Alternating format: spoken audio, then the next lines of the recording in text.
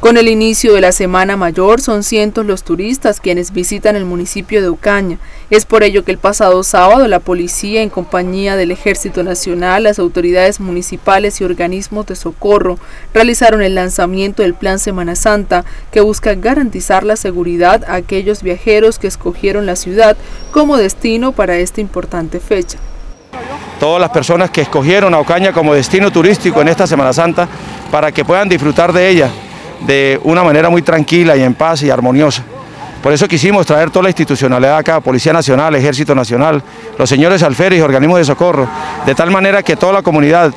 eh, de Ocaña, visitantes eh, que lleguen a Ocaña desde el día de hoy, se sientan tranquilos y que realmente puedan aprovechar de esta Semana Mayor, que realmente es demostrar en todo a nivel nacional. Asimismo, resaltaron que están prestos para brindar acompañamiento a toda la ciudadanía en cada una de las actividades que se realicen enmarcadas en la celebración de la Semana Santa. De igual forma, invitaron al buen comportamiento a la comunidad y, por supuesto, dar aviso oportuno a las autoridades sobre cualquier situación que se registre.